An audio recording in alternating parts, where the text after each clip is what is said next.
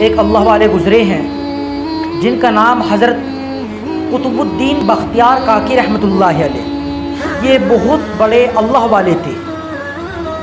हती के बादशाह वक्त भी इनसे बैत हुआ था। और बादशाह वक्त को इनसे बहुत अकीदत, बहुत मोहब्बत थी। जब हज़रत कुतुबुद्दीन बख्तियार काकी रहमतुल्लाह अलैह का इंतकाल हो गया, आपका जनाजा लाया गया।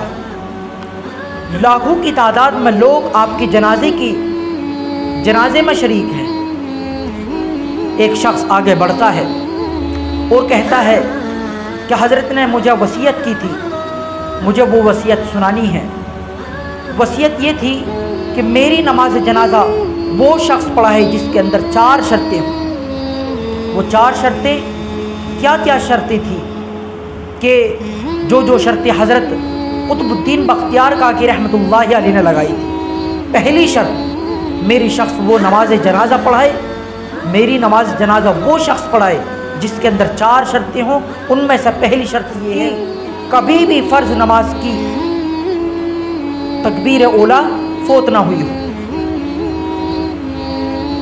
पहली शर्त, अगर हम अपने आओ पर इसको तोलें तो हम फेल नज़र आएँगे। दूसरी शर्त, मेरी नमाज़ जनाजा, वो पढ़ाए जिसके अंदर दूसरी शर्त ये मौजूद हो कि जिसने असर की असर की कभी भी सुन्नतें न छोड़ी हो, कि जिसकी कभी भी असर की सुन्नतें फोत ना हुई हो। तीसरी शर्त, मेरी नमाज़ जनाजा, वो पढ़ाए कि जिसकी कभी भी तहजद की नमाज़ कज़ा ना हुई हो।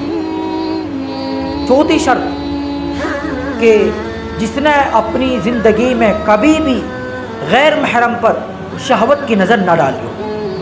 ये चार शर्तें जिसके अंदर हो, वो मेरी नमाज़ जनाजा पढ़ा है। या हज़रत कुतुबुद्दीन बख्तियार का के रहमत ने वसीयत की थी। मजमा खामोश, यूँ महसूस हो रहा था जैसा कि मजमे को सांप सूंघ गया हो।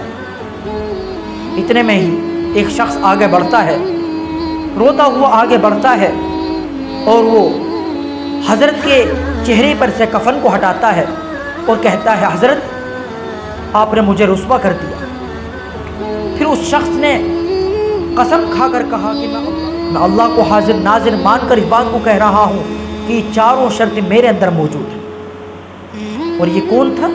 ये वक्त का बादशाह सुल्तान अल्तमश थे